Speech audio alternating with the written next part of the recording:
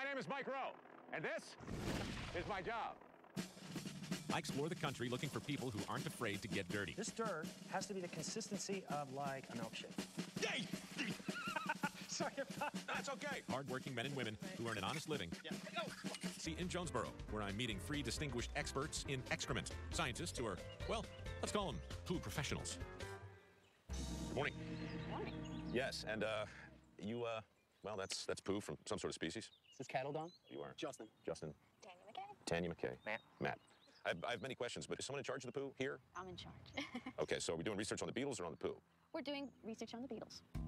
Why, why are we doing research on the beetles? The beetles are beneficial because their activities help to degrade the dung itself. Dung that remains on the pasture surface is problematic to cattle producers. We're trying to study the dung beetles in order to figure out how to utilize them. And Coming up, the race is on to finish my delicate piece of art. Perfect. Bonding on the shop room floor. I didn't even wear underwear today. I didn't either. Well, could have gone all day without hearing that.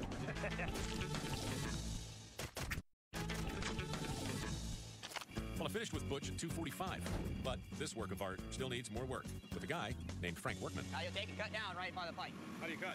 Better. Like All this. Lightly squeeze. Now All right. roll back and forth. Don't squeeze too hard. All right. Next step. Lay it down in the mold and then blow into it and spin it as you blow. There you go.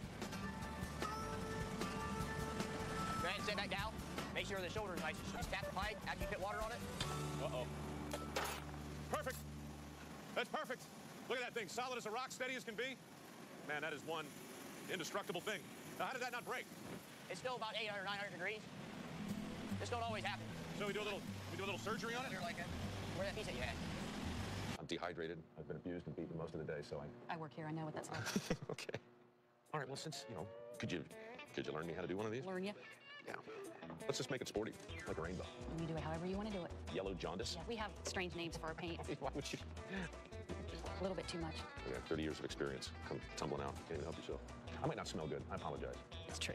Never mind then. You've been to the dark side. Yeah. This is rotten ah, Hey, potato. that's good too. It's water-based paint and it's fired at 400 degrees. You're doing really it's coming in great.